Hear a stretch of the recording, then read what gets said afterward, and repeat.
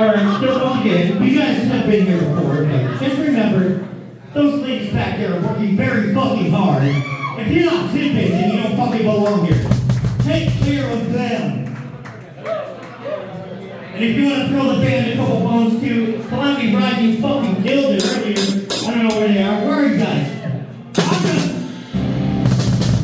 He's over there at the bar. He's having a great time.